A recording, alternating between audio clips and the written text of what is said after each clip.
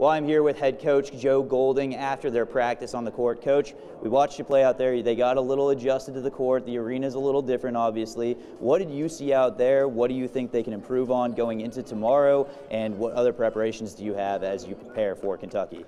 I think the biggest key is just getting them focused on the game. You know, there's a lot going on right now that we're not used to, and so it's just getting our guys dialed in and locked in that there's a college basketball game to play tomorrow night. It's a once in a lifetime opportunity. And so uh, hopefully, um, when they went out there on the floor today, they realized this is real. You know, this is really happening. You know, and so um, you know now we got to turn the page, go back, and, and, hopefully have a good practice this afternoon and continue to get locked in on Kentucky. The problem is Kentucky's roster is not changing. They are who they are. They're really, really good. They're one of the best programs in college basketball and one of the best teams. They have a legit chance to win the national championship. So uh, there's a lot. Um, there's a lot of stuff that we have to do to even give ourselves a chance. So we got to get these guys locked in uh, and, and, hopefully uh, back to, to refocused on Kentucky. Well, thank you, Coach. Best of luck. Thanks. The ACU Wildcats take on the Kentucky Wildcats tomorrow here in Jacksonville. Reporting in Jacksonville for BCH Sports, I'm Dusty Baker. Back to you in the studio.